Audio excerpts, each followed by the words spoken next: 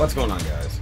So today on this Shoky Quickie, finally complete the Dino Thunder set with Dino Thunder Yellow. Yay! Alright guys, so now we're going to look at the final Ranger from the Dino Thunder line, and it has taken way too long for this to happen, but GameStop finally got her in. and one thing you can see is that this is not the new packaging. This is the old school Power Rangers packaging, which kind of alludes to the fact that they've been sitting on this figure for a while. Not GameStop, but Bandai. Um, because the final Rangers we've looked at, be it the Psycho Rangers, the uh, Red Armored Ranger, or even the White Dino Thunder Ranger, all came in the new packaging. So this girl should have been out quite some time ago, but they're really kind of trickling it along and making sure that the last big part of the build a Megazord was with her. So, you know, making you really string along till the final end. Now, you do get Power Rangers up there. You got Build a Megazord with the Dino Thunder Megazord. Nice image of yellow there. You got her here in her uh, trapped form. And for the most part, I'm assuming that she's exactly the same mold as all the other female rangers we've gotten, like from Zeo, but with the exception of the belt. I could be wrong, but anytime I have a skirt built in, I just kind of make the assumption. But you do get her weapon and then build build a Megazord part there, Dino Thunder thing, limited edition. Yeah, I guess that's technically true because it's kind of the end of the line. And you got Aegis 4 Plus. Hey, I'm right in the middle of that. And you come to the back and you got all the same stuff there and the old thing that was an absolute lie. so, uh, Zeo Red, Zeo Blue, Zeo Pink, Dino Thunder Black, and Dino Thunder Yellow should have all been in this wave, and they definitely were not. That's when they really started messing things up. Where Pink came out totally different time, uh, specifically from GameStop. Black came out even before that. White Ranger just came out, so they have really, really messed with the lines at this point. So it is what it is. But let's go ahead and get Kira out here and see how awesome she is, and let's finish this series up. Alright guys, so here she is. Miss Yellow. Looking very good. Actually, it's, it's pretty good. I think you know, I've only got one other Yellow Ranger, and that's Zeo Yellow. So uh, she looks good, uh, but you can tell definitely from the previous generation because crappy, butterscotchy, Velveeta-y gold. You know, some some painted gold, but not much. You know, up here and then the tampo bit on the chest. Um, white paint here, stuff like that. Silver eyes up there on her helmet. The white paint down the arm. No paint whatsoever on the Morpher, because never. And a little bit of gold paint here, but then everything else, especially like this holster, which is garbage. Uh, and then down here on the legs, also garbage. Um, but I guess, you know, for completion's sake, you gotta have her. So, and the fact that, you know, she comes with the final version of the, or final piece of the Megazord. You do get the swivel and uh, disc mounted head. Looks pretty good. Super loose shoulder. Can rotate. Bicep. Single jointed elbow. And the same kind of wrist we're used to, honestly. Ball joint mounted torso so she can really move around. And you do get the... Yeah, no waist rotation. Okay. It looks like it's there. You do have the cut for it, but it doesn't look like it'll work. Uh, Legs are going to be very uh, limited by the skirt and don't want to do any damage, so that's just that. I always appreciate the thigh cut actually covered by the skirt, so you can actually rotate the legs a little bit. Double jointed knee, boot cut, which isn't too bad, and the foot is, you know, there as usual.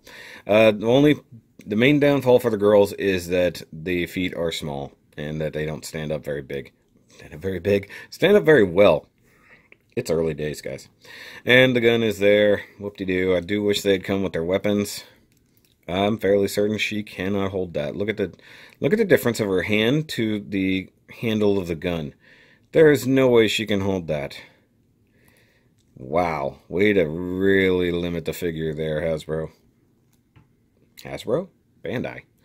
I'm getting ahead of myself. We don't have we don't have uh, Hasbro Power Rangers yet. We will. But let's go ahead and bring out the rest of her team. So a good old blue boy here. He likes to fall over, like all of them do. And you've got red. So there's the original, original three. and yeah, ankles. Uh, at this point, I don't know if I mentioned it in a previous review, but I'm basically gluing all of their ankles solid so that they'll stay. Because uh, most of them really don't. And actually, Blue Boy here cannot keep his holster on. It just falls right off for some strange reason. It, it seems to peg in well, but then it falls right off. So I don't understand how that happens. And you see his knees are still really weak. He gets weak in the knees around Kira. Or gravity. And then we get Dr. O over here. Stay. Going to fall. And then White Ranger we looked at last time. Told you it would fall. So between the ankles and the knees is usually why these guys won't stand. And now we've got a domino effect happening. Oh, I'm so glad I don't have to collect this line for much longer. Although I'm looking at the in-space rangers now. We'll see what happens. If I can get them on, if I can get them for cheap, I might buy the in-space. I don't think I'm going to get Mighty Morphin again. Even though that also re-released with this set. So, it is what it is. I'm going to get a picture of that. So, there she is with all of her teammates from that season. And there's Wally. And Here's an Iron Man Mark 1 for comparison. Definitely not the same kind of scale of person. And just to show it off, there's her Megazord part. I'm going to do the uh, Megazord combination, or uh, put together in a separate video. Probably attach it to the end of this one. But that's pretty much it. I mean, that's the Dino Thunderwave. It is what it is. It's a good looking set with the exception of the crappy gold, except for Mr. Uh, White Pants back there because he's the only one who got good paint. Uh, and of course, if you wanted to, you could definitely try to repaint some of these things if you have a gold that's close to this. I don't, therefore, I have not bothered to repaint um, any of them. Now, the weapons, the weapons need to be updated. His uh, brachio staff or whatever it's called sucks. It's just not even close. Same thing with him back there with his his weapon. Uh, the guns are close, but not great at all. The morphers are not accurate in any way, shape, or form, except for the fact they're molded individually for each ranger. That's actually neat. but that's it for the Dino Thunder, people. So if you like this video, if you're finally done seeing these, give me a thumbs up and uh, hit that subscribe button if you have not yet. And uh, grab the Shoky shirt or check out the Patreon if you want to help support the channel. Every little bit absolutely does help, and I appreciate anybody who does. And of course, if you do the Patreon, um, there's all kinds of stuff to look at. So there's that. But that's going to be it for this Dino Thunder Yellow Ranger review, guys. I will catch you on the next one. Remember, as always, to keep on nerding.